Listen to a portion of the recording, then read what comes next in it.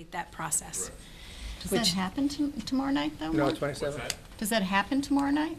No. They talk about it so that we can be prepared to hand it, yes. And I'm still terribly confused, so As I'll am I. need some help with that. That's a lie. So uh, we also, the musical, uh, if Zoe were here, I'd like to say, because I'm sure Zoe's probably in Oklahoma, but Oklahoma will be um, shown at the high school from, um, on March 14th through the 16th, and it's going to be an amazing production, and we hope many, many people will come. Tickets are on sale at lunch, and you can also order them at arhsmusicals@gmail.com. Um, So please, everyone, come out and see the wonderful show. We also have Monte Carlo Night, which is scheduled for March 16th at Valentine Hall at Amherst College. And this is um, the fundraiser to support our high school athletics. So we are hoping people will come out. Tickets are $25 and they can be purchased from the high school athletics or at Cushman Market, Hastings, Hampshire Athletic Clubs, or Jones Group Realtors. Um, You can also go on the Hurricane Boosters um, site as well.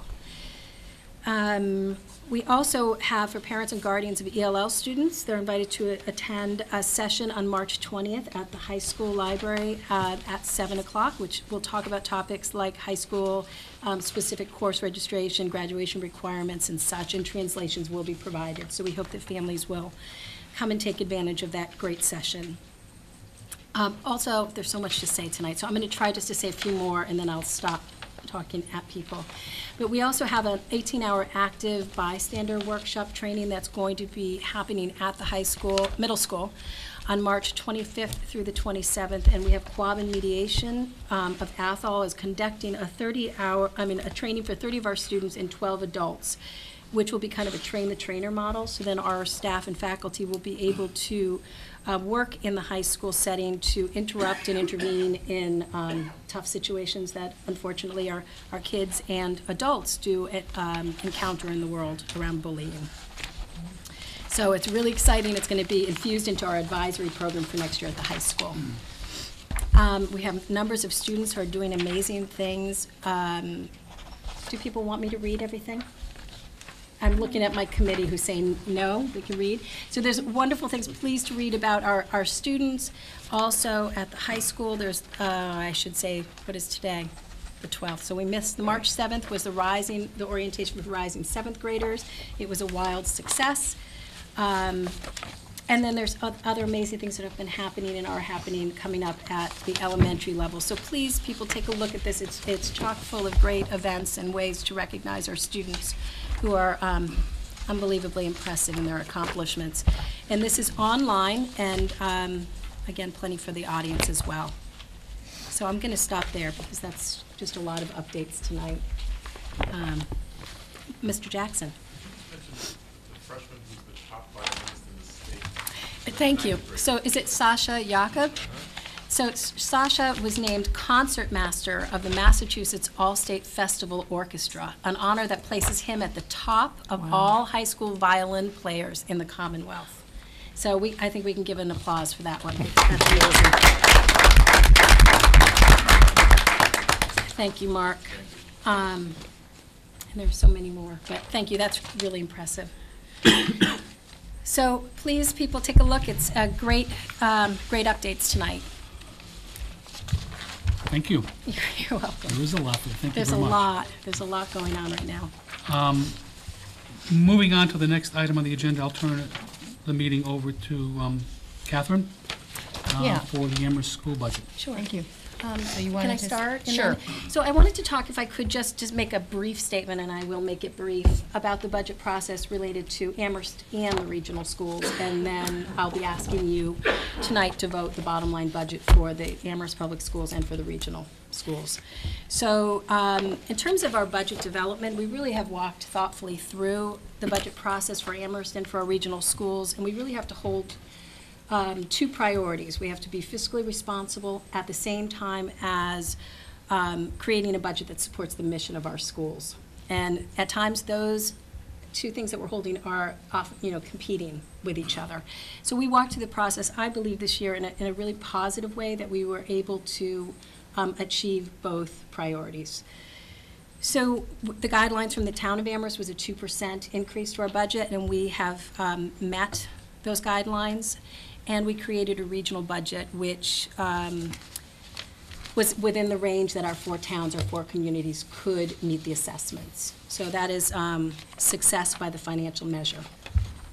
Uh, Also, the budget itself meets the short-term goals and holds a long-term vision for our schools so that we can become much more financially sustainable over time, which in this new uh, fiscal climate is critically important for um, tomorrow as well as four or five years from now. The challenge for us is really to be able to live within that financial reality while we create uh, a budget that fully supports the district and school plans that we put in front of the committee and the community. So um, in terms of meeting those educational commitments, we have created a budget um, that allows our system to grow and develop to meet the student um, demographics, the changing needs that we have. Um, Also, to maintain the excellent um, educational programs that serve the whole child. We've been able to do both. We've created a budget which is in line with our commitments to the academic core, to visual arts, to music, health, wellness, social and emotional development of our children, and furthermore provides the resources to support our commitment to equity and to our diverse learners. So we're fortunate, again, to live in a community that um, our students sitting right here represent, that our community values our, our educational system. And we have cultural and educational institutions that really support us in our work. So in addition to what our budget provides for us, we also have really exciting things that you've been hearing about um, each time we meet, and we'll continue to rely on our partners to be able to bring um, enrichment and hands-on um, project-based learning to, to our school systems. We are, as people have heard, in the middle of creating permaculture gardens. We are, um, have strings and vocal coaches from Amherst College and UMass who are coming into our elementary schools and our secondary schools. We have volunteers who are working in our art classrooms at um, elementary through middle school level. Our Span, the Spanish department at Amherst College is going to come and help with Steps to Success. They are offering their time and energies and some financial resources. We have athletic departments who are offering to come and work with us around intramurals after school. And um, the five college students who are helping us with our MSAN conference. And um, for every innovative idea, AAF, Amherst Education Foundation, is listening to those um, innovations and um, have, are in the process of supporting a number of those grants again for this year. So we thank the community not only for the appropriated budget, but also for the commitment to step up and help out in ways that are not maybe represented in the budgets, but they are tangible. So the list goes on and on. Um, so we're really fortunate that we have such a strong school system that really provides um, kind of fertile ground for innovation. People are really creative and um, willing to put in place in um, new thoughts and new ideas about what could be beneficial to our kids, and they're willing to take risks. Um, so uh, we thank everyone for the learning of our students, but also the work that people are providing or the, the resources that higher ed's providing for the learning um, that is necessary for our adults as well.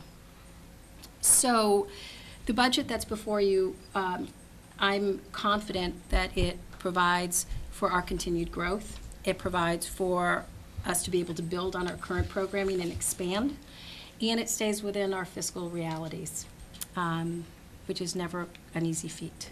So after the budget is voted tonight, um, our work is not done. We're very much in the process of hearing from staff of, you know, whether they're returning from leaves or exiting on leaves or their interests. And um, we have to go through assigning of staff across buildings. We have to make some model revisions around delivery of services, and we have to create schedules for all of our schools. So our work over the next few months um, is, is very busy, even after this budget is voted. So um, I would ask, you know, for Amherst, that we ask the committee to vote the bottom line budget, which, um, the total appropriated amount for the Amherst schools. Okay. So I Thank you. turn to you with that. Thank you, Maria. Um, I'm just going to make a very brief statement and, um, and then call for a motion. But I first wanted to thank the Amherst Committee for all your hard work in this budget process. This is one of um, our most important roles as school committee members, and I think all of you have worked really hard at, um, at, in your role. Um, Several months ago, we established our priorities. We asked the superintendent to address the needs of students in our district who have been historically underserved. While at the same time, we asked her to move the schools forward to make sure that every child in the district will have access to the best possible curriculum and instructional practice. We asked her to maintain class sizes. Um, and finally, we asked her to build a budget that looks to the future in, the, in terms of sustainability uh, over the next several years, while at the same time bringing down our high per pupil costs. So the superintendent and her administrative team created that budget. Um, and the school committee asked a lot of questions. We had a lot of questions. We gave the superintendent a lot of feedback. And so now it's time for us to vote the bottom line budget. So if I could, I will entertain a motion that's in your um, agenda packet. Rick? I move to adopt a budget of twenty-one million, nine hundred and eighty-nine thousand, one hundred and ninety-nine dollars for fiscal year twenty fourteen for the Amherst Public Schools. Second? Second. All those in favor? Is, um, right, um, I apologize. Is there any discussion? Just checking. Thank you. No, I appreciate that. I, I, okay. All those in favor? Thank you. Thank you very, very much.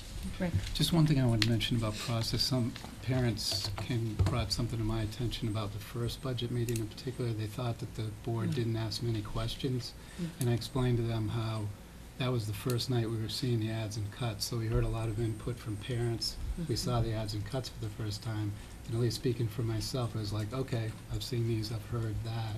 Now I'm gonna go find out more Right. about it, and at the Mhm. next meeting have more to say.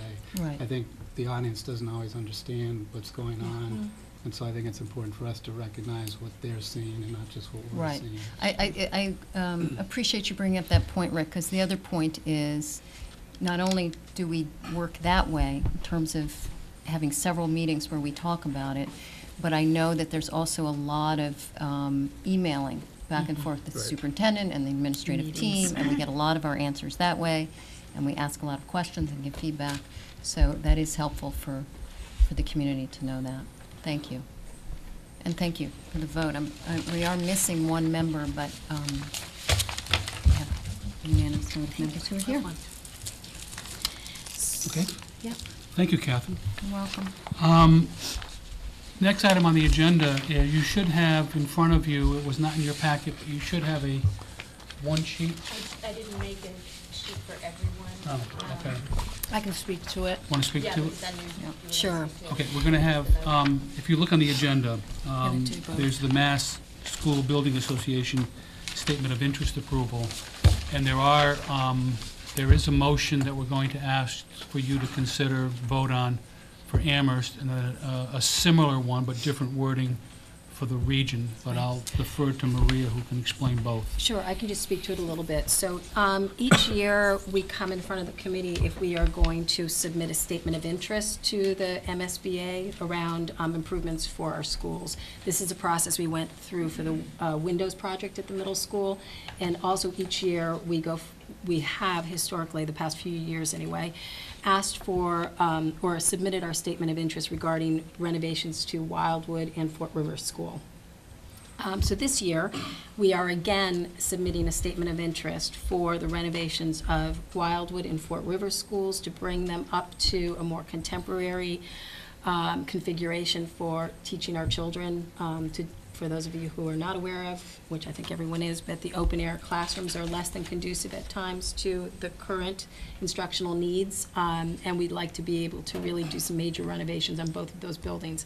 If Ron were here, he would speak more eloquently about all of the technical details, but that's the gist of it. This is just submitting a statement of interest. If they come back to us and say, yes, we would be funding um, some renovations, then the process begins where we talk about the specifics of what that would look like, what that would mean. But the committee does need to endorse my just submitting that paper.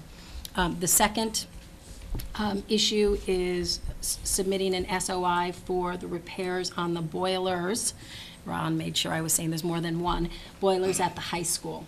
This is reflected in our capital plan that you voted to happen in FY, I want to say 14. I think it's FY '14. In FY '14, so if we were to receive these funds, which is a, a green energy repair, it would offset the capital. So it would help us to not have to expend all of those funds that have been allocated in the capital plan. So I'm asking for the region to vote for us to submit a statement of interest to repair the boilers at the high school, which is reflected in the capital plan. And then I'm asking for um, statement of interest for Wildwood and Fort River. And I think Kip has the motions, which I don't I have. have the Oh, you motions for, Greg. I have. You have So that's, does that make sense to people? I just Michael? have one, just a question. In terms of the sequencing, since we went from the Amherst budget to this, how does it impact the regional buzz, budget, or does it?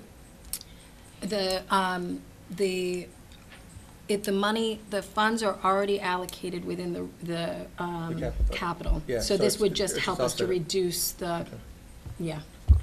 Does that make sense? Trevor? I got a question along those lines. Um, the capital budget for the region is what you're describing. Yes, So, as a point of order, we're gonna have a vote first from, from the Amherst board about that, and separately, a vote Yes. from the. Yes. yes. So I know I kind of Okay. melded those two together, sorry about that. So, um, this is a very long motion, but apparently I have to read the whole thing. And actually, we need to technically vote separately for each building. But I'm, Debbie assures me that it's okay if I read this once, and we will, in the motion, understand that we are voting exactly the same thing for both Wildwood and Fort River. That- Okay. and she'll, she'll recognize that in the minutes. So, resolved, having convened in an open meeting on March 12, 2013, the School Committee of Amherst, in accordance with its charter, bylaws, and ordinances, has voted to authorize the superintendent to submit to the Massachusetts School Building Authority the statement of interest form dated 2013 for the Wildwood Elementary School and the Fort River School located at 71 Strong Street, and you'll put in the address. Thank you. 21 Southeast Street. Southeast Street, which describes and explains the following deficiencies and the priority category for which an application may be submitted to the Massachusetts School Building Authority in the future. One, replacement or renovation of a building which is structurally unsound or otherwise in a condition seriously jeopardizing the health and safety of school children where no alternative exists. Two, elimination of existing severe overcrowding.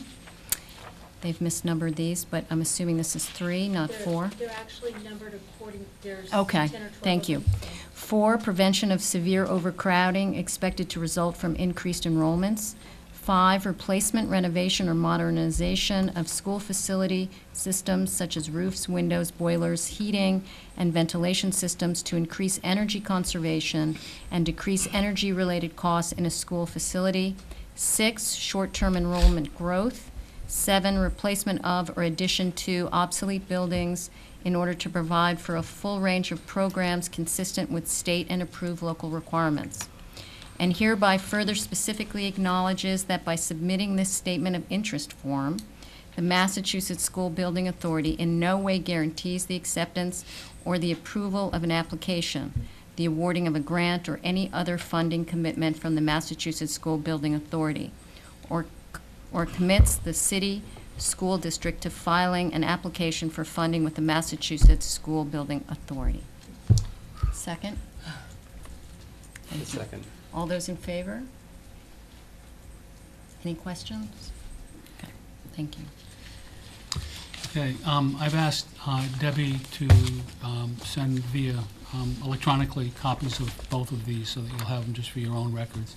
Um, I'll try to do this in my best FM radio voice so that you're not bored with this one. Um, Resolved, having convened in an open meeting on March 12, 2013, the Regional School Committee of Amherst, Leverett, Pelham, and Shutesbury, in accordance with its charter, bylaws, and ordinances, has voted to authorize the superintendent to submit to the Massachusetts School Building Authority the statement of interest form dated 2013 for the Amherst Regional High School located at 21 Mattoon Street, which describes and explains the following deficiencies and the priority categories for which an application may be submitted to the Massachusetts School Building Authority in the future.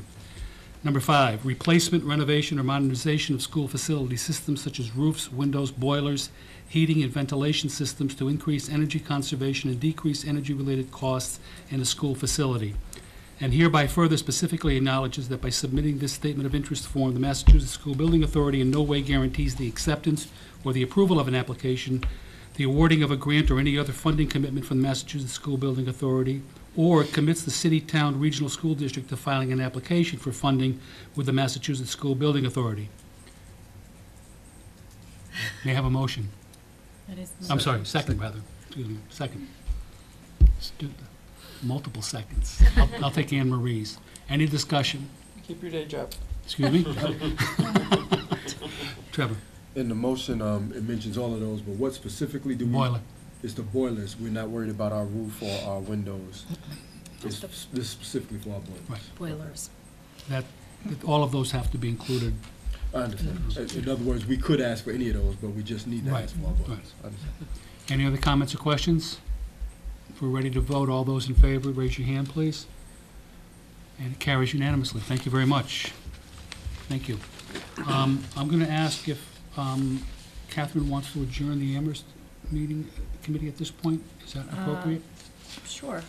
Um, Do I have a motion to adjourn? I Thank you. move to adjourn the Amherst meeting. Second? Second. All those in favor? Great, thank you. Okay, so the region now needs to consider the regional budget, so I'll defer to Maria on this one. So the, the only um, statement, again, I kind of uh, spoke to both budgets leading into it, but the only point of clarification and kind of, I don't know if it's a non-clarification, it's kind of hanging out there that I'm asking you to trust, is um, related to uh, the, the PE reduction. So that was raised um, as a concern, and what I wanted to say to the committee is we're still working to figure out how to incorporate more physical activity and health instruction into the school, and it's gonna take us a few months to work this out. Um, So what we're doing right now is we're consulting with athletic departments of higher ed, and we're asking them to work with us around um, expanding athletic opportunities after school. We're working with many of our staff members who have some really innovative ideas around um, before and after school, as well as during the day, um, evidence-based strategies around um, increasing movement and physical activities into the culture of the school, meaning in class, between class, um, and at lunchtime. Um, And, you know, kind of the trade-off that we're sitting with, and I'm going to tell you a funny thing about that other thing in just a second, but the trade-off is this, that if we move PE um, off of the rotation where it was and leave it s- separate, it takes away the time for differentiation and intervention. If we move it onto the rotation with the same amount of time, it requires us to um, make reductions in things like drama or art. So at this point, we're feeling that for us to leave it as we planned on the rotation, which is a decrease in the phys ed time, but then to really be able to create more of a culture of the, the physical activities and to increase um, health is where we need to move at this moment, given our um, competing demands. So I'm asking that you trust that Mike Malone and Betsy are going to work on this over the next few months, and then we'll come back and kind of let the committee know where we're sitting. One really fun I have to say it because it is fun. Um, Marta, when she went to Arizona and um, for MSAN conference recently, the school that they were in had this robo voice that came over between each passing time and it said, "It is time to move to your next class." And then they played music, and kids literally danced to their next class. They had five minutes in between, and they did this dancing. So I know that that sounds a little silly, but I think it would be exceptionally fun. Um, but but these are some of the smaller things that you actually can do to get kids moving, and there are ways to incorporate it within the classroom and at recess time. Um, and Betsy's all about looking at this, as you can tell from her face in the audience. So, again, I'm going to ask that you um, vote the bottom line budget with that lack of clarification around that one point, because it will take us a while to be able to really figure this out as we're scheduling over the next few months. Um, But we do have the commitment to the health and wellness of our kids, so we're going to make this happen, one way or another, or multiple ways. So I do ask that the bottom line budget for the regional schools um, be voted by the committee. May I have a motion? I'll do it. Michael? Uh, I move to adopt a budget of twenty-nine million, one hundred and thirty thousand, eight hundred and fifteen dollars for fiscal year two thousand fourteen for the Amherst Pelham Regional School District, and to assess member towns according to the assessment method specified in the regional agreement as follows. Fourteen million, one hundred and fifty-eight thousand, eight hundred and thirty for Amherst, uh, one million, two hundred and fifty-nine thousand, four hundred and eighty-eight for Pelham, one million, three hundred and ninety-eight thousand, eight hundred and ninety-nine for Leverett, and one million, four hundred and eighty-three thousand, three hundred and eighty for Shutesbury, for a total of eighteen million, three hundred and five hundred ninety-seven. Thank you. Is there a second? I second. Thank you, Trevor. Any comments or discussion? Michael? Just a couple of comments. In terms of the, the PE, I, I do want to appreciate your, your thinking about it. And, uh, the two things, I think, you know, I appreciate the balance. Incorporating culture, I think, is actually really powerful. Um, and I would nominate the school committee to pilot the dancing hall. No, that would be great. Um, and I think just in the bigger picture, you know. Yeah, Kip can, Kip can lead us. I sort of appreciate you and the administrative team because, you know, I said it at the first hearing, but part of why we're all dealing with this is just the lack of revenue, you know, in the public stream and the, the challenges of charter and the challenges of not having tax revenue and that this is really tough and it's been this way for 20, 30 years at this point. Um, So it's, you're doing an exceptional job and they're tough and not always desirable. I mean, no one likes cuts. Um, so we have to push back, but I think it's not a good situation to work from. Thank you. We appreciate it. Anything else, Mike? Yeah, I'm done. Any other comments or questions? Um, Just very briefly, I, I I won't bore you by repeating everything that Catherine said to the Amherst Committee, but I certainly want to duplicate those words for the region as well. But beyond that, just very, very quickly, um, during our discussions and also the parallel conversations uh, at the regionalization meetings, sustainability has been an- an often-used word that has, I think, lost some of its meaning and some of its credibility, to- that means anything to folks. Um, So what I would prefer to say in regards to this budget is that I think it's a wake-up call on several levels um, for all four communities. Number one, um, the declining enrollment is problematic for all of us. Uh, Number two, um, we've recognized, as Michael just did, the declining revenue stream. Uh, That's both um, structural and discretionary, if you ask me. Uh, But third and finally, and I think most importantly, in terms of wake-up calls, I think despite the cuts, um, and and maybe in fact because of them, um, there is also a long overdue recognition of the growing disparity of both cognitive and non-cognitive skills and abilities of our students as they come through the schoolhouse doors. And I think despite the cuts, um, what's rather remarkable here is that there's still a retention of structures, if not um, a- an elaboration of those structures that address those needs that have been, um, in my personal opinion, not the committees, but my personal opinion, have been uh, not given their full due over the years. So while there are cuts, I think if folks pay, uh, pay attention and do their homework and look carefully at what is underneath those cuts and what is still in existence, I think they'll still see a fairly, uh, a quite vibrant system at work. And uh, my hats are off to the administrative staff for being able to achieve that. Thank you. Thank you very much. Um, Time for a vote. All those in favor of uh, approving the motion, please raise your hand. All those opposed? Abstentions? Abstain. You told me you was- know if you want to abstain. I'm catching up with where we were on the. The regional agenda. budget. I'm sorry, voting Yeah, I- for? I, I vote for it. Okay, so the vote is unanimous. Thank you very, very much. Thank you very much. Now the next step for Um, us. The next item on the agenda is um, school choice hearing. Yes. So I'm going to Yes. turn it over to the superintendent for Okay. intro to this one. Okay, excellent. So this is the time, uh, point in the year where we really just have the conversation about um, remaining a school choice district or choosing not to be a school choice district, which means accepting students um, by choice. Um, And we recognize that the revenue that we have realized from school choice, which we will be applying for the, um, to the regional budget for next year specifically, is, I think, $717,000 and for the Amherst is $145,000. So um, for the region, the, the conversation is, I can't remember Pelham's, 450 maybe. Um, Just to include have a Pelham number in the on me. conversation. Thank you. Might even be more. Yeah.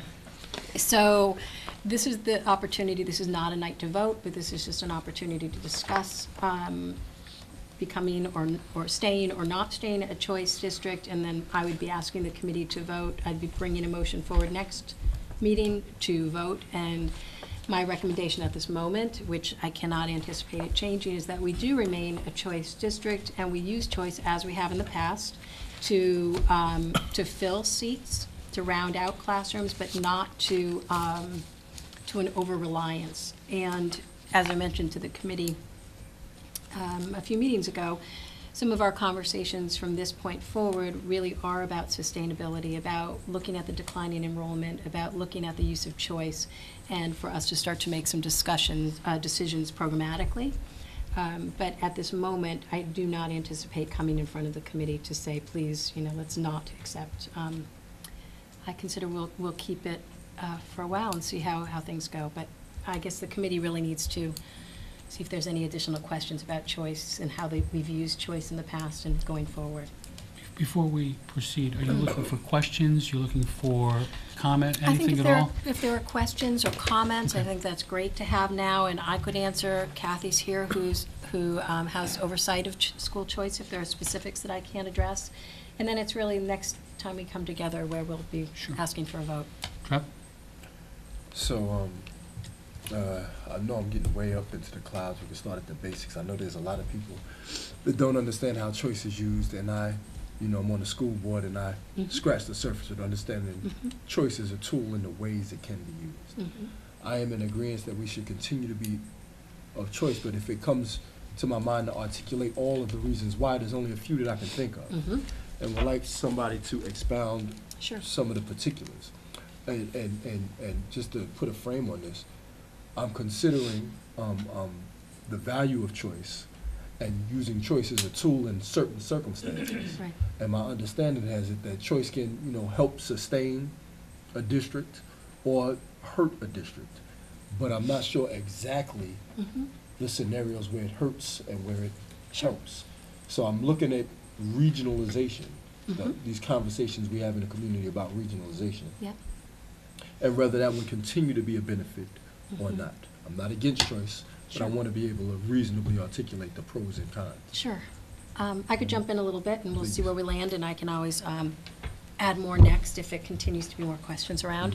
Um, But choice is a, it's a really difficult uh, philosophical discussion for some people, because when you, as a district or any district, accept choice, you're taking revenue from another system. And in turn, when our students choice out to another district, revenue follows those students. So in some cases, the system that's been set up for choice and charter, uh, people can have um, philosophical um, opposition to based on that it's not terribly, um, I mean, it's probably overly simplistic, it's not neighborly to take funds from, from the town next door. So there's a philosophical discussion that's, that I think scratches the surface that some people sit with, which is difficult. For us, the primary use of choice is as a revenue stream. It, it does supplement and support our school system. We do not use it to where we're overly relying on it, where if we didn't have choice, we would not be able to run our schools, which is the, the, the concern. Would we have cuts? You bet.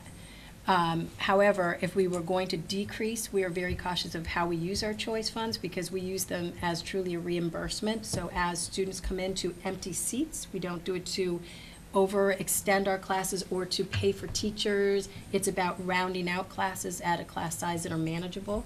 So we use it as a- an additional revenue stream in those situations. The, the problem can be when a school district does over-rely and you're not using it as a reimbursement, where you are getting them funds in this year that you're applying for the following year. Any change in that puts the district at risk financially. Um, so we're very cautious about how we use it, how much money we, we project over time that we're going to need either to decrease choice or increase choice, and we make conscious decisions about that as a system. Some of the longer-range conversations, though, that we are gonna have to have is when, when we look at our declining enrollment, what is the, the range of offerings and programmatically that we're going to keep in place? And what does that mean for choice? Does that mean we're going to rely on choice to further hold on to ranges of programming, or are we going to constrict a bit? so that we're not over reliant. That's our kind of tipping point. We are not anywhere near that, but those are our future conversations. Um, I think that um, a few communities do use it yearly when it comes in, and I think that does put them at risk. I think also some communities where you have the tipping point of the numbers of students that are community students versus choice students, then it becomes a risk because you are not, um, the amount of money that comes in is five thousand dollars per student plus if there are special education increments or services that you, you are receiving funds for. But the amount of money that goes out for, say, charter school is, is substantially greater. And the five thousand dollars is not, um, in our case, anywhere near our per pupil cost. So it is a supplement. It is not a way to float your budget. Um, trying to think what else I would say. Other positives of school choice, though, is the kids who come to you really want to be here. And families are often highly invested in your school. So there are positives that people come in and they're really invested in being part of your school community, in addition to the revenue that comes um, to support our schools. So I don't know if that, does that, I kind of went all over the place, Yeah, but but does that that, help? that kicks off the conversation. Okay, Yeah, that excellent. helps. Yeah. A- a And- and- baseline. Yeah, and much more to go. So if there's, m- you know, specific questions over time too that you come up with, you can, you know, feel free to send them to me, ask me, and I'll bring other people up too, to answer who've had more experience with choice. Michael? So I think just uh, philosophically, Shutesbury has been not interested in choice, and so we're not a choice district. Um, And so that's usually where I'd fall. I think I probably would decide dif- differently, given, you know, tradition and culture here, but that remains to be seen. Um, I think, given that, however, in response to yours, just to fill it out a little bit, in terms of the beyond neighborliness, I think one of the initial rationales was it's a way of spurring a district who is not performing as well as people think it should to do better.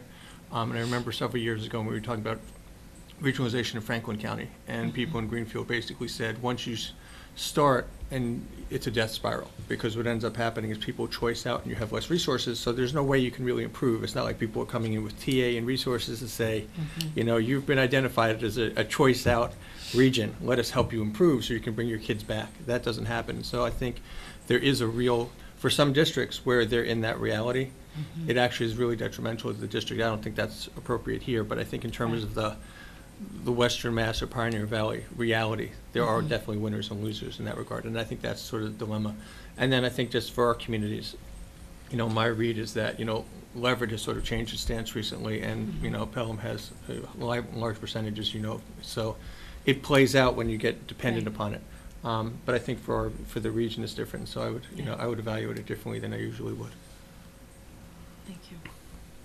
Other comments or questions? I also just want to say with school choice, even if we voted to have school choice, that doesn't mean we actually have to open any slots in a given year. So there can be mm-hmm. flexibility in the system, but you could still say, we don't want to use it in our budget this year. Exactly. Thank you, Annie, because this, again, even if we vote to remain a choice district, it would be, we'd be, you know, announcing that, but we would be looking at our enrollments once registration, pre-registration, registration happens, so that we can really make sure that we have um, the spots and that we don't overfill. So, thanks. Any other comments or questions? Um, I'll try to be brief. Um, For as long as I've been on the school committee in Leverett and now on the region, this has been the most difficult decision for me to make, because I'm adamantly opposed to school choice. I think it's very, very poor public policy. Um, I think it isn't, it isn't even public policy, it's really corporate policy. It assumes that a market should exist for educational, the delivery of educational services. And I don't think there should be winners and losers in public education. That should be the last thing that we would want to see happen. And I think choice, given the way the funding is structured, regardless of the benefits that may accrue to individual youngsters, uh, and I think they do, um, the fact of the matter is, i- in my opinion, it works somewhat like a lottery. And um, for that reason, there are winners and there are losers. Um, And I I simply cannot, um, regardless of however the funds are used, I simply cannot cast my vote for that situation. It just, I I just find it, uh, it's just unacceptable to me. And in Leverett, it's a little bit more difficult than it is here because um, the money from choice in Leverett has become uh, not at all unlike an addictive drug. Um, Where at one point it was part of our discretionary kitty jar over here, um, it has become, over the past four to five years with level-funded budgets, it has become part of our structural budget. It's how we operate now. And um, that makes it even more difficult to vote against it. Um, Nevertheless, um, I suppose it's sort of a case study for people in political science, um, where your philosophy um, and values and uh, beliefs comes up against the practical matters of running an organization. And while um, I am more than aware of the difficulties of running this organization, I, I simply cannot, I, I, I cannot honestly continue to exist as a school committee member and cast my vote for school choice. I feel that strongly about it. And I've, I've told Maria this uh, on several occasions, um, and it's unapologetic. Um, I simply cannot vote for it and will not. Michael? Um, I had a question for Maria, but I wanted to appreciate what you said, because that's often what I say. And I'm not sure how I'm going to vote, but, Yeah. you know, if in the, you know, click your heels reality, you know, mm-hmm. there actually was some additional revenue, is it possible to sort of start thinking about that? Because I think the power of having an Amherst Regional District, which is, you know, providing good services, is mm-hmm. financially intact is relative to others. You know, to say, to have as a model that we actually don't want to play in this game because there are winners and losers, is that something that, you know, just looking down the road is something that would, might be considered? Yeah, I mean, we're actually looking at that, um, that will be part of our conversations over the next few months to see where we're gonna land as a system, but there's a lot of moving pieces, as you know right now, about, you know, as we all know right now, because it really does depend on what our enrollment trends look like over time and, um, the configuration of our, you know, governance structures. So, we are actively having that conversation, and, um, I understand fully the, the philosophical and the, the dilemma that people have with making this vote. Um, and I sit with the seven hundred and seventeen thousand dollars, so, uh, but yes, we are having the real conversation around the use of choice, and we will continue to do so. And some decisions coming up, you know, around regionalization, you know, will, will lend to that conversation in one way or another. You're welcome. Trip? In response to you, and I'm gonna say this with all due respect to Maria, but the reason I'm asking Maria that is because I hold it in my pocket as that decision falls to us, whether or not to be choice or not. That's true. So with, re- and Yeah, this is yeah. with respect to Maria's position, whoever the superintendent is has to play with whatever cards we deal in. And if we say, you know, what are the Yes, I know pros and the that. cons of choice, I'm especially thinking about if we, if, um, um, um, one of the pros of regionalization that, that has been touted is Mm-hmm. putting our financial house in order, and I'm questioning whether or not if our financial house is in order, are there other reasons that school choice is, is necessary? So, um, to piggyback off of Kip's analogy of a drug, you take a drug that you're addicted to because you have to, but when you don't have to take it, now you start thinking to yourself, look, I don't have to do this anymore. So uh, I'm thinking about what it is that makes us have to do school choice, and it's cash money, y'all. So if regionalization solves that cash money problem, then we could decide we don't want to play the game and, and stick to our morals and our, our, our holier than thou selves. Yeah. Not- I'm not talking about you, but I'm talking about Kip. Stick to our ideals. Yeah, I, and I, I, I guess I just wanted to say I completely understand that, um, that philosophical stand, and I, and I don't disagree with it, but I also understand, and I, I guess I have my elementary school hat on, but one of our priorities has always been trying to maintain class size, and I do know that choice is um, one of the best ways that we're able to do that. Um, And so, at the elementary level. At the regional level, um, probably does not have the same kind of impact. I, I know it doesn't have the same impact in terms of class size. Um, But, uh, you know, for that reason, uh, you know, it's, it's clearly a double-edged sword. Yeah. But, um, That's a good point, I didn't think to say that one. you know, Any other comments or questions? Not hearing any then, thank you very much. You're welcome. Um, You're And we will vote on the 19th. Yes. Um, Moving on to the next item on the agenda, the school calendar. Maria? Sure. So um, each year, we uh, pull together, and Debbie actually pulls this together, so if we have specifics, I'm going to turn to Debbie. Um, uh, Draft calendars to put in front of um, various groups, in- including the the Amherst Pelham Education Association. So we have a, uh, by contract, we put in front of people a pre-Labor Day start and a post-Labor Day start. And we provide a draft to the school committee so that you have the opportunity to take a look at that and um, ask questions and provide feedback. And then um, the APEA is also in that process right now of taking a look at the contract and giving us feedback. And then I anticipate the next time we get together, I will make a formal recommendation of which calendar we would like to move forward with. And then I would be asking the committee to vote uh, school calendar for next school year. So this would be on the 19th as well? Okay. Comments or questions? Michael? Um, two, one is just totally selfish. I think this is the first time in eight years on the school committee I've seen a post-Labor Day start. It- Yes. And I do battle every year. 'cause We that's- always put one out So there. thank you. It's so You're nice to welcome. see. Whether it gets approved or not, it's nice to see. Mhm. Um, and I guess following on the heels of that, the debate we always have in Shutesbury is that, um, by June, it's hot and kids don't want to be there, so you should start earlier, which I actually think doesn't make sense because it's just as hot and it's summer in August, so it'd be nice to have you just talk about it, because in my mind, school starts in September, but I'm antiquated. Yeah, you know, I actually like, I actually like the That's okay. August start. I- I'm used to losing. Yeah, you know, I like that. It seems to work out in terms of the dates and the holidays um, um, more comfortably for students and for staff. And I think it also helps, um, I don't know if this is pre or post, but I like this configuration because we get staff in during a period of time at the end of the summer and get them gearing up for, so that really by September, you're in full swing. For me, the heat factor, you hit it on both ends. So Thank you. You hit it on both ends, and I don't know if there's other, Debbie, she needs a microphone, sorry. Yes, you do, Debbie.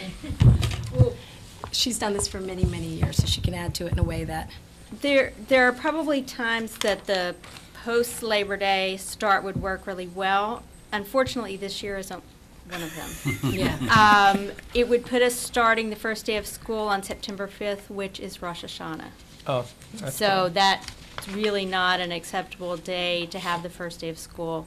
Mhm. Um, We looked at some other ideas, but the idea of a post-Labor Day um, calendar in order to meet our contractual obligations means that everyone has to start post-Labor Day, including teachers. Hmm.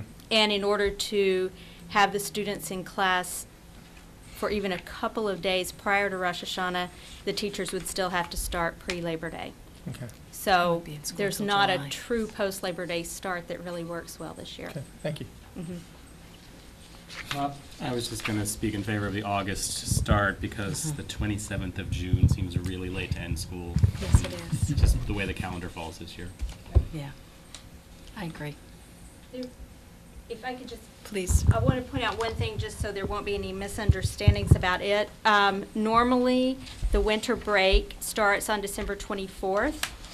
Um, This year, we have it starting on the 23rd, simply because the 23rd falls on a Monday. And we figured with the holiday break, we would have attendance of about 10%. And not be able to staff If the we building. had that Monday, the 23rd. So that's why you see a full week there instead of the traditional 24th. Lawrence? And I would, uh, I'd like to speak in favor of the August start for a couple of reasons. Uh, First place, if you have two days, then four days, then five days, it's a very nice way I to like break that. into the, uh, the new year. You don't want to have four and then five. It's too much of a shock for, at least for teachers, I can say that, at least for this teacher. For children Uh, as well. They're yeah. becoming, they're exhausted the first few days. Uh, The other, the other concern I have, and I don't know, it sort of all comes out at the end, is that I know there's been a lot of research about students, uh, students who struggle academically, students at risk. There is, there is an issue in our country that we have a- a summer vacation that's too long. Mhm. There's an awful lot of loss uh, Mhm. academically, and I think Uh, Anything we can do, even if it's just two days, that can get that loss eroded, uh, is a good thing. Thank you. Anyone else? Okay, If not, then we'll vote on the 19th. Yes, thank you so much. Thank you. Um, Moving on to the next item, um, on, in your packet, you have a, um, a sheet which identifies a gift from uh, Maury and Phyllis Eisenberg. Um, I would entertain a motion to accept that gift. Rob? I move to accept a gift uh, of a violin, a case, and a bow for the high school music program from Murray and Phyllis Eisenberg. Is there a second? Second. Second, Catherine, any discussion? All those in favor, I got please raise your hand. Oh, I'm sorry, yeah, Trevor, I'm sorry. Will the, um, violin be labeled for who gave him the gift? I don't think so. Probably the I don't case. think we typically, I don't know. if Will we do that? Yeah, I don't know if we, In other words, if there's a set of violins we already have, is there a You know- special, some kind of special marker for the gifted violin? I doubt it, So but whoever uses I it don't knows this know. came from the Eisenbergs? I mean, don't know. I just, Yeah. I imagine that would be a, a, a, a- a fitting gesture. I can check on that, but I have no idea, and I, and I, I somehow doubt it, but I could check. Right, It doesn't just become a random violin. Rob? I do know that my son's cello came from the Pelham PGO. It's So standard- yours Stamped on it, does, that's what- okay. That's what I'm asking, if it would be stamped on there as a, this a right. gift from. But I will, I will check that for you, I'd be happy to let you know. I, I just don't. It's a nice. Yeah, it's thing great. It's a good idea, Trevor. Yeah. Thank you. Yeah. We'll just accept gifts and throw it Yeah, away. no, that's Put a it in, wonderful idea. It should be This is a recognized. special violin. Not throw it away, but I mean, Kids it's just will enjoy be it. in the violin bin. It should be a special. So we violin. thank them for this gift, We and do. I will, I will check on it. Um, Our noting it tonight will be lost in the minutes forever, but that will retain. And on It's a good tape. idea, yeah. Mhm. Thank you. Any other comments or questions? All those in favor of the motion, please raise your hand. Opposed? Carries unanimously. Thank you very, very much. Um, Before we get to the subcommittee reports, well, as, uh, before we get to the regionalization uh, planning board report, I just want to tell the, the board that um, you will be receiving from uh, the policy subcommittee a couple of policy recommendations at our next meeting. It's not as if we've been on vacation, we have been working, but we just work kind of slowly these days. Um, But anyway, you'll have a couple of um, proposals before you for the 19th to, for your consideration.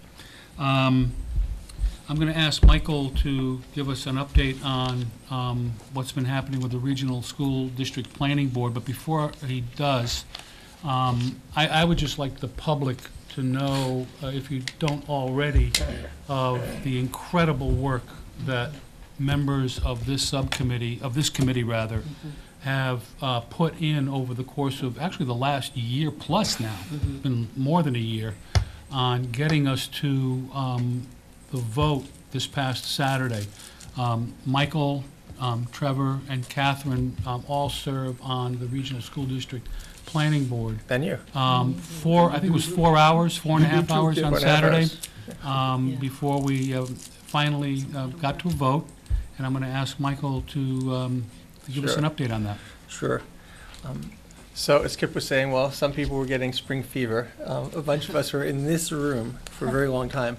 Um, But we met this Saturday, March 9th, and importantly, we were on schedule. So this has been a complex endeavor with lots of moving parts, and we're actually on time based on what we're planning. But Saturday concluded the fact-finding portion, so we spent a lot of time figuring out what we needed to know, then getting consultants to do the due diligence and getting the research. We had the forums last month in all the four towns where everyone got feedback from their residents, and then this was sort of the culmination of the fact-finding. And the questions on the table initial, initially were, well, the, the question was, do we want to continue planning as four towns going forward with, with some regional model or not? Um, And the initial two models up for consideration that we've discussed for a long time were either a four-town pre-K six model or a four-town pre-K twelve model. Um, And then at the last minute, there was a hybrid model, which is a little complex to explain, but it's a so- sort of a pre-K twelve with a carve-out for a town that didn't want to participate in that, um, i.e. Shutesbury. So I would just give kudos to Andy Steinberg, who um, is the chair of the committee, because he did a phenomenal job. And I think, especially given this body, um, the four towns and and the 12 of us on it have worked exceptionally well. Um, The discussion was extremely respectful. Um, I think the level of collegiality was, was really, really high. Um, And everyone was trying to work together. I mean, I think this region sort of sets the tone of, we've been doing it for 60 years, so it's, we know it's doable. How do we get through, each town has a different set of issues and needs that it brings to the table for the elementary, um, but we know that this works, and so that's sort of the combination. So the upstart of, or the, I don't know what the word is, but what ended up happening, being voted, was that Amherst, Pelham, and Leverett voted to, and, well, Shutesbury voted for it. Um, The 12 of us, it was unanimous, we voted for a three-town pre-K six region that included Amherst, Leverett, and Pelham. Um, And just to be clear, because I know this is confusing in my town, and I want to make sure for the audience, the vote was to continue planning. The vote was not to regionalize. Um, And I think just in the shorthand, people get confused and they say, oh, okay, we're regionalizing now. And in fact, March 9th kicked off the next phase, which is building a regional agreement. Um, and that's really the negotiating of saying, how do we deal with governance? How do we deal with, you know, the possibility of changes in the local schools? How do we deal with the financial assessments? All that detail that instructs this region has to get built for a new region. Um, so that's what the commitment was. And so the three towns agreed. Shutesbury, I can just say, um, the three of us support the idea, but it, based on the feedback from our forum, we were not hearing people who were affirmative. We heard people who were in opposition and people who were skeptical. And so, at least for Saturday, it didn't seem like it made sense to go forward. Um, and I think that's, that, that's the big news. Catherine?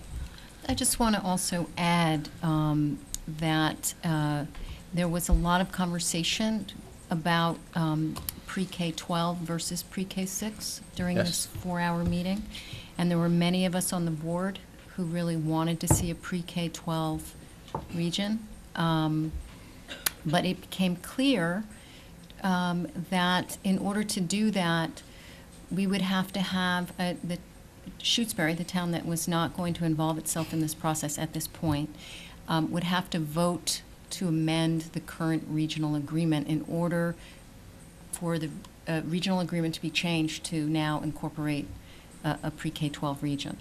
So realizing that that would be a very difficult thing, um, the feeling was, and it was a unanimous vote at the end, um, to at least move forward with a pre-K six region at this time between the three towns that were hopefully going to a town vote.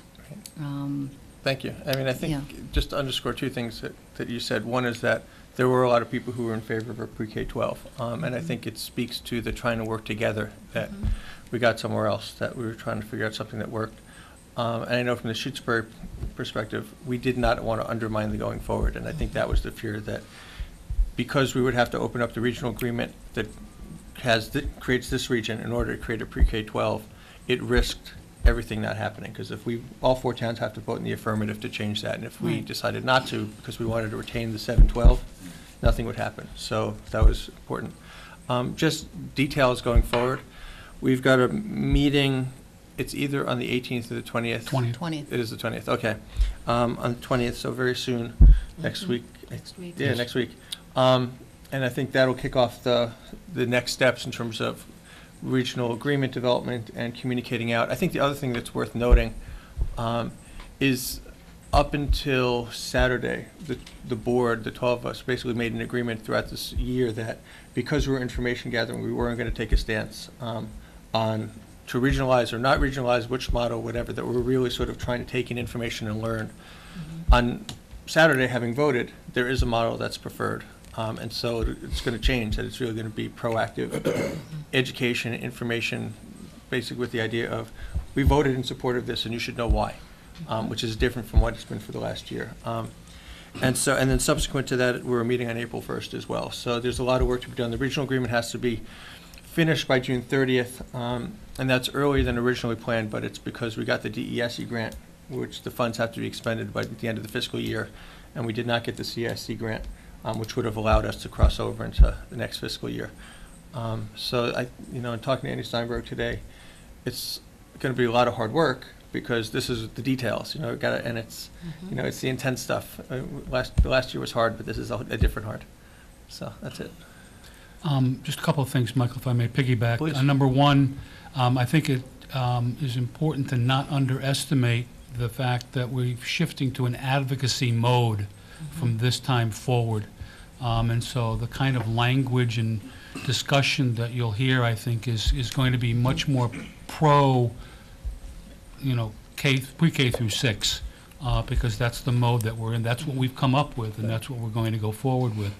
Um, I also want, the, the, the date that we have, the deadline in June, is important for this body, um, and I just want to give you a heads up that sooner rather than later, and I don't know precisely when, it may be as early as next uh, meeting, the 19th, it may not be until our first meeting in April, Um, but um, I am going to ask Maria to put on the agenda um, the task of this committee, this group, voting to authorize the Regional School District Planning Board to rewrite the regional agreement to uh, encompass the, the concept that the board approved on Saturday. So that is coming. I don't know exactly when, um, but obviously it's going to have to come soon to meet the deadline of, of, of June. So please be aware that that's going to be coming your way, and you're going to have to cast a, a vote up or down on, on doing that. Um, because what we're doing on the Regional District Planning Board obviously has a direct bearing on the very existence of this board. So, um, something that's, Can I just Quite important. fine tune, just Michael, 'cause- go ahead, please, yep. So it does, it actually, it's a- sorry to correct you as chair, but uh, it doesn't call into existence the presence of this board or the region. What it does is that we're all, the way the regional agreement, it spells out how we're appointed. So in Shutesbury and Leverett, we're appointed by our committees. Same thing with Pelham, Amherst, you guys all just are on by virtue of being on the committee. But it defines the process whereby we all fill seats. Um, And if there's a pre-K six region, there are not local school committees. So therefore, school committees cannot appoint us. So there's five ways that we can comply with state and federal law in terms of one person, one vote constitutionally. Um, And there's a couple of ways that we've been discussing um, that are more amenable than others. And so it would be up to this body to decide what the preferred mm-hmm. um, amendment was and then going through that process. When you say this Thank you. body, which body are you talking about? I think it's up for the regional school committee to decide which one it prefers and then move it to the, it's a town vote to amend, Right. Mm-hmm. but we would, That's the- so the, the, the- and what we have to get clarification on is the timing. So mm-hmm. I, what we just, if I, what we discussed on Saturday was that if the pre-K six region got created, it would most likely be a town vote in November of 2013. It would be, it has to be submitted to the ESE for approval in December of 2013. And if it was approved, then there'd be an implementation period from January to June, and the new region would start in July 2014. At, on July 1st, 2014, when it starts, the other school committees stop existing, and that's the point at which we would be out of compliance. So what's unclear, I think, is mm-hmm. when we would have to change, but to Trevor's point, the, the seven twelve regional school committee would have to embrace a methodology that was constitutionally acceptable, and then put it on a warrant for the towns to approve at some point subsequent to be out of compliance. Annie, That's clear now, all set? Trevor? I just wanted to say sometimes for us that, that have been living and breathing this stuff for a year, it sound like a lot of inside baseball. And so I just want to uh, boil down the Go take-home messages. The take-home message for everybody at home listening and everybody, you know, that's been following this stuff is, now that we have got this information, four different uh, town uh, boards have come together and unanimously decided that the most benefits and the most feasible thing to do, the best thing to do, is try to form a K through six region. Emphasis on the try to form, because the work comes into hammering out the details. So it's still possible that details can't be hammered out, and the whole thing falls apart and is not voted upon by the town. So take-home point that you guys made, but I want to sift it Oh, out from all totally. other stuff you said, that this is not set in stone yet, but this is what we have all agreed on would be the best case scenario, what we're recommending and what we're trying to figure out how to make work the best for all four towns. All right? Then the next thing, and, and you guys inside baseball explained it perfectly, and that is that right now we're all four separate elementary uh, uh, districts that assign a person to come and represent us at the regional level. That would fundamentally change if we made a new elementary district. So we just have to write new rules about who sits on this board. Simple. You're saying three, you were saying four districts. There are three moving forward. There's three moving forward, but the Okay. fourth that isn't moving forward still has a representative on this regional board, Right, seven through twelve. right, right, right. So that, Shutesbury as well, I won't even say that, because you say Okay. Shutesbury. Yeah. Shutesbury would also have to approve any amendment to the current regionals, uh, uh, uh, uh, uh, regional agreement. Okay. Right now, all four towns have agreed that this is how we appoint somebody to here.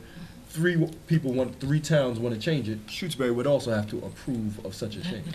Annie? Can I, ask if- so if Shutesbury decides, you know, two months from now, you know what, maybe we'll do this.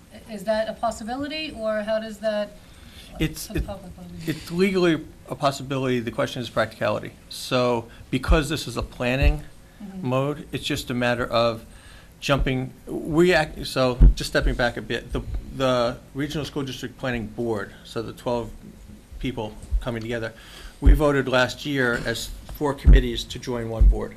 So mm-hmm. all of us wear two hats. We wear members of our town committee and the board. Mm-hmm. So Shutesbury on Saturday decided not to withdraw, which was what people had sort of presented you would have to do if you didn't want to go forward. So we are fully still part of the 12-person board, which is why we voted. And the idea was, at least amongst the three of us on the committee, in the short or medium term, uh, we're sort of convinced that Shutesbury is going to want to join a pre-K six region. And so we would like to be part of the conversation to whatever extent is, you know, acceptable to the other three towns to sort of go through this. We've been living and breathing it for a year, just being part of that conversation. So we, we, we haven't gone anywhere. We haven't left the table. We're just saying we're not part of the, the solution in that regard. Um, but in terms of if we said, you know, hey, we changed our mind, we want to play with you guys, we can do that differently at different times. So between now and June thirtieth, it's having the conversations and making sure that the regional agreement is written with four towns as opposed to three. So that's a possibility. But after June thirtieth and before the November vote, I think it would be a matter of having to pay lawyers to rewrite the regional agreement, um, and making sure it was on the warrant in time. And then subsequent to that, so if this, if the four, three towns voted, um, and a region was approved by DESE, so there's now a region and we're sort of a separate district still, we would then, just like we did with this region, Shutesbury Lumber came in two years after the creation of this region. So we would come knocking at the door and say, would you vote to approve us? And Right. there would be some voting process where our town would have to say, we want to do it. Mhm. And I think the, because it would be changing the regional agreement. And so the only thing I would say actually is that each process is defined by the regional agreement. So our current 712 regional agreement says if we want to amend the agreement amongst us, all four towns has to vote with the majority to change it. But in the pre-K six regional agreement, it could be whatever we decide. We could replicate that, but it's, it is, there's no statute saying that you have to do it that way. Catherine? Shutesbury has a Catherine, Actually, excuse I'm- me, I'm- excuse me, Chuck. I- I- Catherine. Michael basically said it, Sure. but I, I, I th- I just think there was some confusion about the timing. Um, I mean, one of the things about, about, um, pre-K six versus pre-K twelve is that all three towns, Leverett, Pelham, and Amherst, can vote to regionalize pre-K six, and s- subsequent to that, the regional, uh, school committee can be amend, can vote to amend. But, but it's, the- but Shutesbury will not be involved in voting whether or not the three of, the other, the three remaining towns can regionalize or not. Right, That was key. That was very Yeah. key, that was the point. right. So Yeah. just, No, you sure? All set? That Any was other comments or questions? joke, Maria? I just want to say one quick, I just want to say that the committee, first of all, just kind of echo what, what um, Kip had mentioned, that the committee's worked unbelievably hard and put in a ton of hours over the past, over a year now. And people coming, three representatives from each community coming together with the interest of their um, communities, but with children in the fo- forefront, and have waded through really hard discussions. And to be able to watch that committee do their work was really impressive. Um, And it's one of the most collaborative groups I've ever seen, quite honestly, and functional teams. Um, And Saturday was, it was a marathon of four hours, but people were in it, they were committed, they were considering all of our kids, our community's kids, and how best to move forward. So I just want to say thank you, because it was, it has not been easy.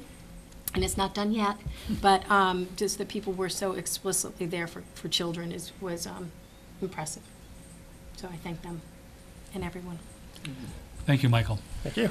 Um, Moving on then, we're, we're coming to, um, to closure here, well ahead of our time clock. Um, great. I'm gonna ask Maria to give us an update on both the calendar, future items, uh, and again, let me repeat that at, at some point between now, or the next meeting and the first meeting in April, uh, I'm gonna ask, um, request that Maria put on the proposal, so that's in addition to whatever Maria shares with us at this point. Sure, so, thank you. So for our next meeting, um, and I don't have my calendar in front of me, but our next meeting, Dr. Cohen will come with her team to talk about, oh, thank you, uh, an update on teaching and learning, and I believe she'll be focusing um, very solidly on math and science, uh, pre-K-12. Um, And that, I think, presentation and question and answer will be about an hour, so that is going to be the bulk of our meeting. We also will vote for um, choice, and we also will vo- vote a calendar. Um, Let me think, where are we after that? Let's see. Oh, and then we have to move topics now. So we have to move some operational topics of information systems and maintenance and operation report. Um, So we will have to consider what the next meeting would be, which I think is probably um, April 30th, I think is the next joint meeting. April thirtieth, I know the PBIS update is. Oh, okay, oh, that's great, that's right. PBIS and discipline, that, that update, and I have to, I should have said that already too. We've had, we had our whole team presenting today, this afternoon at the Mary Lyons um, Conference on PBIS, and it was stellar. It was a model that could be taken on the road, can I say that? Um, And I also understand um, Dave Slovin, Lieutenant O'Connor, um, Paul Lyons, and another colleague um, presented also at the Mary Lyons Conference around school safety, um, risk assessments, safety assessments, and, and really impressive. So I just put that out there too. But, I- so all that to say is PBIS is coming up um, in April. So the next meeting I have to play around with for a little bit. But our immediate meeting will be Dr. Cohen and um, the two votes. Can I ask a question about, um, the- we talked, she's gonna talk about math, Dr. Cohen? Mhm. Um, will, will there be discussions about, or question, or explaining about the different pathways that math has in the high school? Because I know Yes. that's a question that's come up here a lot, and Yes. just an explanation of how it works and students' choices, so. and where we are in our process, because her work has really been to look at math pre-K-12, um, not only um, curriculum materials, but pathways, sequence, um, you know, the whole package. Okay. So she'll be bringing us lots of detailed information and an update, and then um, again in May for lots of decision-making, so. Can I have one more question? Is there any, like, will we be able to see any of that before, so we can read it, or is that Sure. something, I don't wanna put a lot of pressure on her, Yeah. but just to understand a little bit more about I that. can, I can ask her what she'd be able to send in advance. It's not a report format, but it Right. would be a PowerPoint presentation, and I know that she will be also having teachers um, and administrators come and present with her, so it's gonna be pretty comprehensive. But I can ask her to see what she can send in advance happily. I think she's, I know she's working on it, because I saw the power, part of the PowerPoint today, so. It's just so much, when, when they share it that It's a night, lot. there's so much, and then you leave with questions, and, you know. Sure. So I could ask the questions later again, but I was just, No, I can, I Thank you. can absolutely. Sure. And she, again, I think it's on May 28th, she'll be back to give an additional update, so um, we'll be revisiting as well. Sure. I just have one, Yes. one question. Um, Looking at um, way ahead, Mm-hmm. June, for a date for retreat. Yeah. Um, I don't know if, if members of the committee want to look at their calendar now or, or want to have some time to look at it to see what, what are good dates, but um, I think it's, it's um, not, I don't want to say it's essential, but I think it would be an excellent idea to, to have a retreat. Um, I think the last one we had worked very, very well Yeah. uh, on a number of different levels in a Yeah, number of the different ways. orientation. And I- I would, Glenn I would certainly look forward to doing it again. Um, We're going to have um, some new members, possibly, Um, and so um, I think it would be good as, a- if nothing else, just a bonding experience and kind of bringing people up to speed as to where we are and how we operate. But I don't know if- if we should set on that now or talk about it over the next month or so, or You know, I think people, we could probably come up, come with some potential options, Okay. and people Okay. can, I think that would be That's fine. helpful. That's fine. Yeah. Good. Okay. Any other questions, comments about calendar? If not, I will entertain a motion to go into executive session. Purpose of uh, discuss- discussing strategy with respect to collective bargaining is authorized by Mass General Law, Chapter 30A, Section 21, paragraph, uh, excuse me, parentheses, 3, close parentheses. Can I have a motion? Rob? I move to enter executive session for the reasons stated by the chair, not to return to general session. Second? Second. Um, Fonsh, aye? Appy, aye. Foley, aye. Good eye. Shabazz, aye. Baptiste, aye. O'Brien, aye. Spence, aye. Take care, aye. Thank you very much. We are adjourned into executive session. Thank you, folks. Thank Thank you you, very audience. now. And people coming, three representatives from each community coming together with the interests of their um, communities, but with children in the fo- forefront, and have waded through really hard discussions. And to be able to watch that committee do their work was really impressive. Um, And it's one of the most collaborative groups I've ever seen, quite honestly, and functional teams. Um, and Saturday was, it was a marathon of four hours, but people were in it, they were committed, they were considering all of our kids, our community's kids, and how best to move forward. So I just want to say thank you, because it was, it has not been easy, and it's not done yet, but um, just that people were so explicitly there for, for children is, was um, impressive. So I thank them and everyone. Thank you, Michael. Thank you. Um, Moving on then, we're, we're coming to, um, to closure here, well ahead of our time clock. Um, great. I'm gonna ask Maria to give us an update on both the calendar, future items, uh, and again, let me repeat that at, at some point between now, or the next meeting and the first meeting in April, uh, I'm gonna ask, um, request that Maria put on the proposal, so that's in addition to whatever Maria shares with us at this point.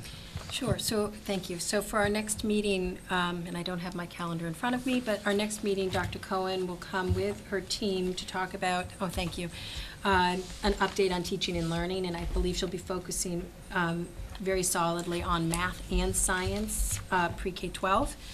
Um, And that, I think, presentation and question and answer will be about an hour, so that is going to be the bulk of our meeting. We also will vote for um, choice, and we also will vo- vote a calendar. Um, Let me think, where are we after that? Let's see. Oh, and then we have to move topics now. So we have to move some operational topics of information systems and maintenance and operation report. Um, So we will have to consider what the next meeting would be, which I think is probably um, April 30th, I think is the next joint meeting. April thirtieth, I know the PBIS update is. Oh, for okay, that oh, that's night. great, that's right. PBIS and discipline, that, that update, and I have to, s- I should have said that already too. We've had, we had our whole team presenting today, this afternoon at the Mary Lyons um, Conference on PBIS, and it was stellar. It was a model that could be taken on the road, can I say that? Um, And I also understand um, Dave Slovin, Lieutenant O'Connor, um, Paul Lyons, and another colleague um, presented also at the Mary Lyons Conference around school safety, um, risk assessments, safety assessments, um, and and really impressive. So I just put that out there too. But, I- so all that to say is PBIS is coming up um, in April. So the next meeting I have to play around with for a little bit. But our immediate meeting will be Dr. Cohen and um, the two votes. Can I ask a question about, um, the- we talked, she's gonna talk about math, Dr. Cohen? Mhm. Um, will, will there be discussions about, or question, or explaining about the different pathways that math has in the high school? Because I know Yes. that's a question that's come up here a lot, and Yes. just an explanation of how it works and students' choices, so. and where we are in our process, because her work has really been to look at math pre-K-12, um, not only um, curriculum materials, but pathways, sequence, um, you know, the whole package. Okay. So she'll be bringing us lots of detailed information and an update, and then um, again in May for lots of decision-making, so. Can I have one more question? Is there any, like, will we be able to see any of that before, so we can read it, or is that Sure. something? I don't wanna put a lot of pressure on her, Yeah. but just to understand a little bit more about I that. can, I can ask her what she'd be able to send in advance. It's not a report format, but it Right. would be a PowerPoint presentation, and I know that she will be also having teachers um, and administrators come and present with her, so it's going to be pretty comprehensive. But I can ask her to see what she can send in advance happily. I think she's, I know she's working on it because I saw the power, part of the PowerPoint today, so. It's just so much, when, when they share it that It's a night, lot. there's so much, and then you leave with questions, and, you know. Sure. So I could ask the questions later again, but I was just, No, I can, I can absolutely. Sure. And she, again, I think it's on May 28th, she'll be back to give an additional update, so um, we'll be revisiting as well. Sure. I just have one, Yes. one question. Um, Looking at um, way ahead, Mm-hmm. June, for a date for retreat. Yeah. Um, I don't know if, if members of the committee want to look at their calendar now or, or want to have some time to look at it to see what, what are good dates, but um, I think it's, it's um, not, I don't want to say it's essential, but I think it would be an excellent idea to, to have a retreat. Um, I think the last one we had worked very, very well Yeah. uh, on a number of different levels in a Yeah, number of the different ways. orientation. And I- I Glenn would, Kuchar's I would certainly look forward to doing it again. Um, We're going to have um, some new members, possibly. Um, And so um, I think it would be good as, a- if nothing else, just a bonding experience and kind of bringing people up to speed as to where we are and how we operate. But I don't know if- if we should set on that now or talk about it over the next month or so, or? You know, I think people, we could probably come up, come with some potential options, Okay. and people Okay. can, I think that would be That's fine. helpful. That's fine. Yeah. Good. Okay. Any other questions, comments about calendar? If not, I will entertain a motion to go into executive session. Purpose of uh, discuss- discussing strategy with respect to collective bargaining is authorized by Mass General Law, Chapter 30A, Section 21, paragraph, uh, excuse me, parentheses, 3, close parentheses. Can I have a motion? Rob? I move to enter executive session for the reasons stated by the chair, not to return to general session. Second? Second. Um, Fonsh, aye? Appy, aye. Foley, aye. Good eye. Shabazz, aye. Baptiste, aye. O'Brien, aye. Spence, aye. Take care, aye. Thank you very much. We are adjourned into executive session. Thank you, folks. Thank you Thank you, very much. audience.